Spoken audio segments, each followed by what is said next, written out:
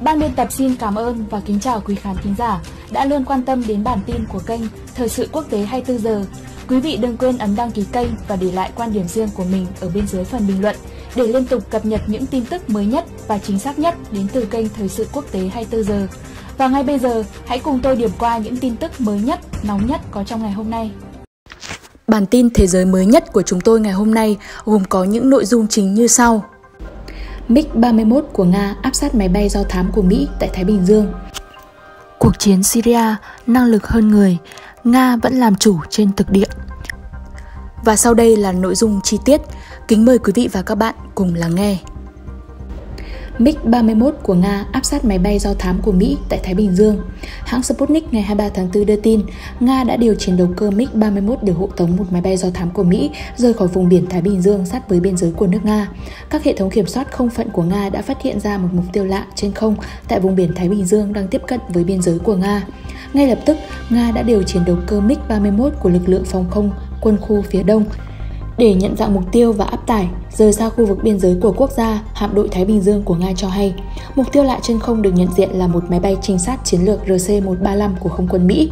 Sau khi chiếc máy bay của Mỹ quay đầu rời xa khu vực đường biên giới của nước Nga, chiến đấu cơ MiG-31 đã trở lại căn cứ an toàn.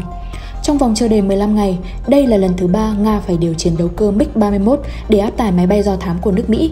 Trước đó vào ngày 16 tháng 4, Bộ Quốc phòng Nga đã công bố đoạn video MiG-31 chặn máy bay do thám RC-135 của Mỹ dọc theo bán đảo Kamchatka ở phía đông bắc của nước này trên Thái Bình Dương vào ngày 10 tháng 4. Gần đây nhất là ngày 19 tháng 4, Nga cũng đã phải điều chiến đấu cơ MiG-31 để chặn và hộ tống các máy bay tuần tra của Mỹ và Na Uy ở trên biển Barents. Cuộc chiến Syria, năng lực hơn người, Nga vẫn làm chủ trên thực địa. Các cuộc không kích của Nga vẫn diễn ra hàng ngày. Dưới cơn mưa đạn dược của lực lượng hàng không vũ trụ Nga, IS không còn đường thoát. Đài quan sát nhân quyền Syria được viết tắt là SOHR cho biết ngày 3 tháng 4 và ngày 4 tháng 4, máy bay chiến đấu của lực lượng hàng không vũ trụ Nga được viết tắt là VKS đã thực hiện hơn 70 cuộc không kích vào các nhóm khủng bố thuộc mạng lưới IS ở miền trung Syria. Không kích nhằm vào các phương tiện và nơi ẩn náu của các nhóm khủng bố ở các khu vực Jebel Bishri trên biên giới hành chính giữa Raqqa và Deir Ezot sa mạc của Amayadin ở phía nam, tam giác Hama Aleppo, Raqqa. Theo báo cáo của SOHR, ít nhất 15 tên khủng bố IS đã bị tiêu diệt trong đợt không kích này của Nga. Lực lượng không quân Ả Rập Syria cũng đang triển khai tấn công vào các nhóm khủng bố thuộc mạng lưới IS ở khu vực miền Trung. Hai video được chia sẻ ngày 4 tháng 4 cho thấy một máy bay chiến đấu Su-22 và hai trực thăng SAAF đã tham gia cuộc tấn công. Hồi đầu tuần trước, quân chính phủ Syria đã khởi động chiến dịch phối hợp quy mô lớn ở vùng nông thôn phía Nam và phía Tây Deir ez với sự hỗ trợ của VKS. VKS đóng vai trò quan trọng trong hoạt động chống lại các nhóm khủng bố IS ở miền trung Syria. Tháng 3 là tháng vô cùng bận rộn của VKS khi duy trì hoạt động hỗ trợ các chiến dịch quân sự của Damascus mỗi ngày. Theo SOHR, các máy bay chiến đấu của Nga đã thực hiện 1.380 cuộc không kích vào các nhóm khủng bố thuộc mặc lưới IS ở miền trung Syria. Theo báo cáo, các cuộc không kích này đã tiêu diệt được 57 tên khủng bố IS và khiến 25 tên khác bị thương. Các cuộc không kích của VKS được thực hiện với tần suất dày đặc và đây là cách hiệu quả để ngăn chặn khủng bố. Từ ngày 28 tháng 3 đến 31 tháng 3, 3.100 binh sĩ của quân đội Syria bị thương trong các cuộc tấn công của IS.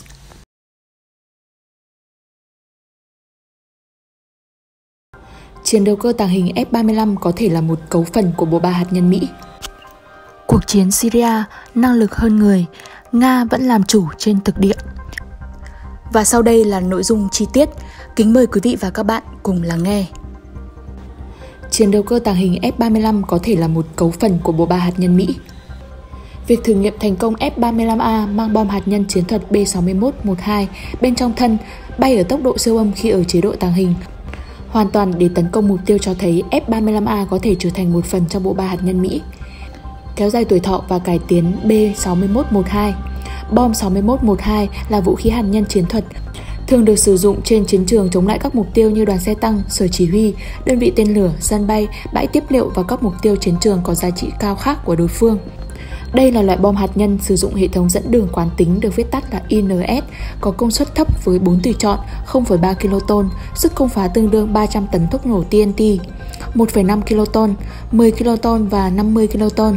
Để hình dung vụ nổ hóa chất ở Beirut năm 2020 ước tính khoảng 300 đến 400 tấn TNT, trong khi quả bom nguyên tử ném xuống Hiroshima khoảng 15 kiloton. Bom B6112 sử dụng phản ứng nhiệt hạch lần đầu tiên được đưa vào trang bị cách đây 50 năm và trong năm thập kỷ qua nó đã trải qua nhiều lần sửa đổi để tăng độ an toàn và độ tin cậy. Hiện Mỹ đang thực hiện chương trình kéo dài tuổi thọ bom trong lực B6112 nhằm cải tiến, tái sử dụng hoặc thay thế các bộ phận kéo dài tuổi thọ của bom thêm 20 năm, nâng cao tính an toàn bảo mật cũng như hiệu quả của nó. Các vây đuôi mới giúp cho quả bom ổn định, cho phép nó được ném từ khoảng lớn hơn. Lợi thế sẽ là máy bay tránh được các loại vũ khí đất đối không tầm ngắn bao gồm tên lửa và súng bảo vệ mục tiêu. Quả bom cũng được thiết kế để xuyên sâu vào lòng đất nhằm tiếp cận các mục tiêu dưới lòng đất trước khi phát nổ. Các quả bom chỉ được đưa vào sử dụng thông qua liên kết hành động cho phép. Hệ thống an ninh được tích hợp sẵn.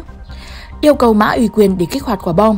Khi ở trên không, bom sử dụng cơ chế cảm biến môi trường để xác định quả bom thực sự gắn vào máy bay đang ở trên không, được thả ở độ cao cần thiết và các yếu tố khác. Nếu một trong các bước và phép kiểm tra không thành công, bom sẽ không nổ. Các quả bom cũng được thiết kế để không cho các nhóm khủng bố có cơ hội qua mặt quy tắc an toàn hoặc khai thác vật liệu phân hạch bên trong. Chúng không thể chỉ sử dụng tuốc nơ vít để tháo một quả bom nhiệt hạch.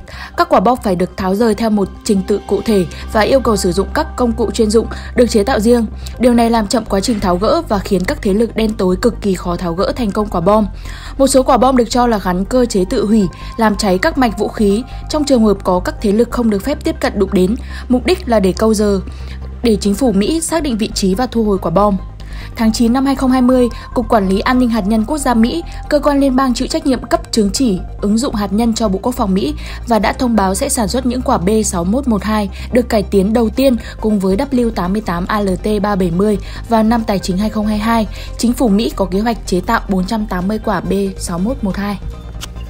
Cuộc chiến Syria năng lực hơn người, Nga vẫn làm chủ trên thực địa. Các cuộc không kích của Nga vẫn diễn ra hàng ngày, dưới cơn mưa đạn dược của lực lượng hàng không vũ trụ Nga, IS không còn đường thoát. Đài quan sát nhân quyền Syria được viết tắt là SOHR cho biết ngày 3 tháng 4 và ngày 4 tháng 4, máy bay chiến đấu của lực lượng hàng không vũ trụ Nga được viết tắt là VKS đã thực hiện hơn 70 cuộc không kích vào các nhóm khủng bố thuộc mạng lưới IS ở miền trung Syria. Không kích nhằm vào các phương tiện và nơi ẩn náu của các nhóm khủng bố ở các khu vực Jebel Bishri trên biên giới hành chính giữa Raqqa và Deir Izot sa mạc của Amayadin ở phía nam, tam giác Hama Aleppo, Raqqa. Theo báo cáo của SOHR, ít nhất 15 tên khủng bố IS đã bị tiêu diệt trong đợt không kích này của Nga. Lực lượng không quân Ả Rập Syria cũng đang triển khai tấn công vào các nhóm khủng bố thuộc mạng lưới IS ở khu vực miền Trung. Hai video được chia sẻ ngày 4 tháng 4 cho thấy một máy bay chiến đấu Su-22 và hai trực thăng SAAF đã tham gia cuộc tấn công.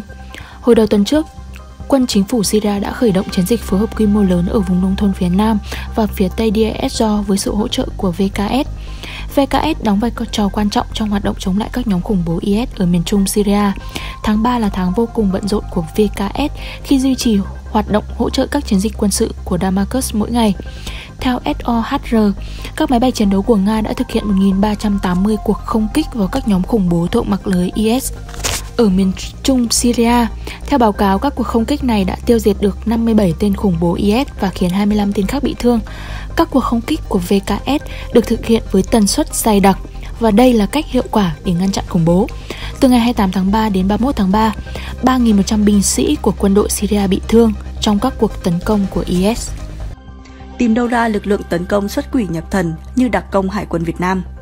Với khả năng bơi hàng chục km, nằm ẩn mình dưới cát cả ngày trời, đặc công Hải quân Việt Nam xứng đáng là những yết kiêu của thế kỷ 21, sẵn sàng giáng cho đối phương những đòn đánh bất ngờ nhất vào chỗ hiểm yếu nhất. Lực lượng đặc công hải quân hay đặc công nước được coi là một trong những lực lượng tinh nhuệ nhất trong biên chế của quân đội Việt Nam. Để có được khả năng tấn công bất ngờ, mưu trí vào những vị trí hiểm yếu nhất, được bố phòng bảo vệ chặt chẽ nhất của đối phương, đặc công hải quân cần có quá trình tập luyện liên tục vất vả và gian nan. Phần lớn các chiến sĩ trong lực lượng này đều được tuyển chọn từ những vùng quê sông nước, một vài vùng quê nổi tiếng là cái nôi của đặc công nước trong quá khứ bao gồm Hải Phòng, Thái Bình, Thanh Hóa. Ngoài khả năng bơi lội hơn người, sức chịu đựng của lực lượng đặc công nước cũng luôn được rèn luyện để cơ thể người chiến sĩ không bị kiệt sức khi hoạt động dài ngày dưới thời tiết khắc nghiệt đặc công nước huấn luyện bơi qua sông, tiếp cận mục tiêu, trang bị của những chiến sĩ chỉ đơn giản là kính lặn, ống thông khí và một chiếc áo phao buộc vào chân để đảm bảo an toàn. kiểu bơi của đặc công nước cũng khác kiểu bơi thông thường, cho phép chiến sĩ ít tốn sức hơn, di chuyển được xa hơn, không những làm tung tóe trên mặt nước để đảm bảo bí mật. Loại ống thở đặc biệt của hải quân dài hơn so với ống thở của vận động viên lặn thể thao thông thường. Khi lên bờ, nhiệm vụ đầu tiên của đặc công hải quân đó là trôn giấu trang bị lặn, bí mật tiếp cận mục tiêu với trang bị nhẹ nhàng nhất có thể. Lối đánh đêm xuất quỷ nhập thần đã làm nên thương hiệu của đặc công nước Việt Nam suốt từ thời chiến tranh chống Mỹ cứu nước tới nay.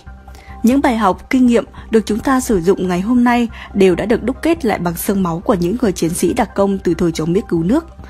Đặc công nước với súng trường tấn công AK, bắn gấp cùng bộ đồ lặn trên người bí mật tiếp cận mục tiêu. Để đảm bảo bí mật của nhiệm vụ, đặc công nước dù võ nghệ cao khả năng chiến đấu thượng thừa nhưng vẫn luôn né tránh đụng độ với đối phương khi không cần thiết. Tạo dựng thời thế cho Việt Nam Người Việt Nam cần chính mình tạo ra thời thế, lợi thế cho đất nước dù bất kỳ nhà lãnh đạo Mỹ nào trúng cử, không trông chờ phép màu hay những lợi ích do một nhà lãnh đạo nào hay do ai đem tới. Bầu cử Tổng thống Mỹ 2020 thật sôi động và kịch tính. Những nhà lãnh đạo, những học giả Mỹ mà tôi làm việc cùng suốt gần 10 năm qua chưa bao giờ coi chính trị Mỹ hoàn hảo hay ưu việt, luôn xác định rằng trên cơ sở những chuẩn mực giá trị tốt đẹp cho mọi công dân, họ đi tìm mô hình tốt hơn.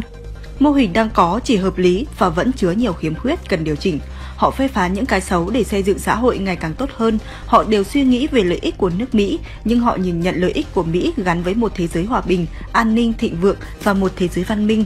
Do đó, lợi ích của nước Mỹ cũng có lợi ích cho những dân tộc và quốc gia có cùng chuẩn mực văn minh. Người Việt số đông thích Tổng thống Trump vì hai lẽ. Ông mạnh mẽ và hành động cụ thể chống lại nước nào đe dọa hòa bình và an ninh ở Biển Đông. Ông chỉ rõ nước nào là nguy cơ cho hòa bình và an ninh thế giới và có những biện pháp quyết liệt để đối phó. Một bộ phận người Việt Nam không thích Tổng thống Trump cũng vì lý do không muốn thấy một Tổng thống Mỹ nói năng tiền hậu bất nhất và cho rằng ông Trump bị dân. Sự kiện người Việt quan tâm đến bầu cử Tổng thống Mỹ cho thấy nhận thức, hiểu biết về chính trị xã hội của người Việt Nam đã cao hơn trước và người Việt Nam có những ưu tư, trăn trở và hoài bão của mình cũng cho thấy sự gắn bó giữa nhân dân hai nước, đó là nền tảng bền vững cho quan hệ Việt-Mỹ. Người Việt Nam cần lắng nghe nhau, tôn trọng ý kiến của nhau và tránh bị chia rẽ vì ý thích và mong đợi khác nhau, quan niệm khác nhau về các vị ứng cử viên tổng thống trong đó có cả sự kỳ vọng cho vị tổng thống mạnh mẽ, quyết đoán. Ông Trump hay ông Biden đều có những quan điểm, giải pháp làm cho Việt Nam có lợi và cả hai nhà lãnh đạo này đều có tình cảm tốt với Việt Nam. Nhưng trên hết, người Việt Nam cần chính mình tạo ra thời thế, lợi thế cho đất nước, dù bất kỳ nhà lãnh đạo Mỹ nào trúng cử, không trông chờ phép màu hay những lợi ích do một nhà lãnh đạo nào hay ai đó đem tới. Chính chúng ta tạo dựng tâm thế, vị thế tốt cho đất nước. Chính chúng ta phải tự cùng nhau tạo dựng một xã hội văn minh, bình đẳng, cơ hội cho mọi công dân, chứ không nên trông chờ vào ai. Tôi nghĩ rằng một dân tộc có tri thức, có nhân cách tử tế, nhân ái, bền bỉ làm việc, sáng tạo, xây dựng một xã hội tốt đẹp hơn, biết lắng nghe, tôn trọng trên cơ sở những chuẩn mực văn minh, tham gia những diễn đàn, những tổ chức quốc tế để nói lên tiếng nói của mình, nỗ lực cùng nhân loại xây dựng một thế giới tốt đẹp hơn, văn minh hơn, thì dân tộc ấy sẽ tự quyết định được vận mệnh của mình, tự tạo dựng được thời thế mà không lệ thuộc vào bất kỳ nhà lãnh đạo nào hay vào quốc gia nào.